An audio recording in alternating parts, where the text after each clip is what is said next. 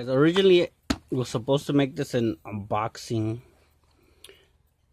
but the original video got deleted. So this is not gonna be an unboxing since I had already unboxed it. I'm just gonna show you what what's inside already. Comes with, of course, the manual. Has a stencil which you could trace on, which are glasses, and a bicycle, which you could put together.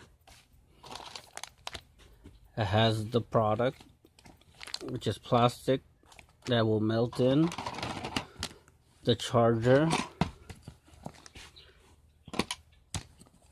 has the the stand and the pen. As you can see, it's a little pen where you can have has a pen. You can see.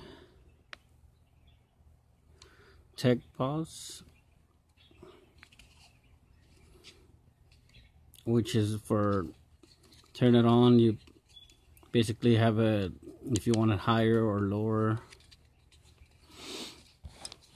how fast you want it to you want it.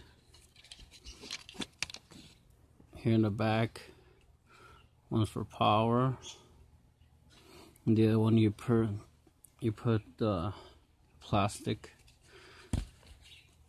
on here. It comes out.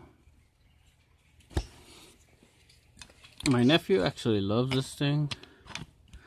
Just wish we had a little more but I have to order more because this is the only one we have at the moment so I'm not letting them really use it. I'm gonna order more when I order that second one then I'll make a better video of that one. So this is probably gonna be part one. I'm not sure if I'll do a part two yet but I'll I'll see. Like I said this is Tecboss printing 3D pen.